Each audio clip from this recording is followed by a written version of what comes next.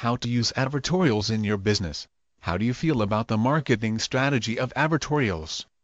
Running advertorials is a great way to make it seem like you are getting free press from the newspapers. This can be a very potent strategy for your business if you know what you are doing. I have seen examples of businesses using advertorials to their advantage.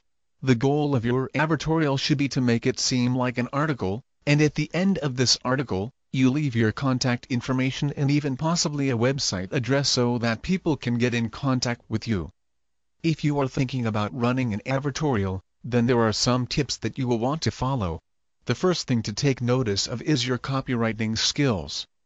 To make any kind of ad work, you cannot just run any old kind of ad and expect people to respond. Your headline must be appealing, the body copy should sound very newsworthy, and your contact information must be laid out on the form that follows the gist of the newspaper. You want to make it a point to not sound like you are trying to sell something. Readers can pick up on this and your credibility will immediately be shot your advertorial will come across as something that sounds like a sales letter, and most of your readers will not even consider your contact information at the bottom. If you want to make your advertorial work, simply write out a group of advertorials that have been proven to work for others.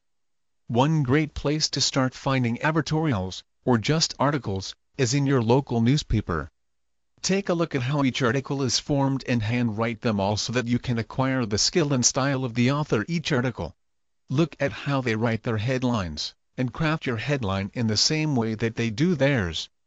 Usually their headlines are very short and to the point, so when creating your advertorial, make sure that it is short and to the point also. While you are waiting through the newspaper looking for articles to emulate, take a look at the display ads in the newspaper also. Ask yourself, if I were a prospect for this kind of product, would I respond for more information?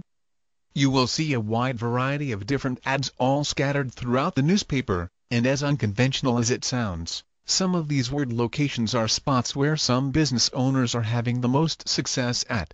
Running an advertorial along with a display in the newspaper can do wonders for your response. The way to tell if an ad is making money is by taking a look at its longevity in the newspaper. If they are running their ad in the same location month after month after month, then you can safely conclude that they are making a lot of money from their ad. Like I said, to get started with advertorials, you just have to start emulating the newspaper articles by hand. Make sure you test your advertorial in different parts of the newspaper because you never know what area of the newspaper will make the difference in terms of no response versus major response. Good luck with using advertorials in your business.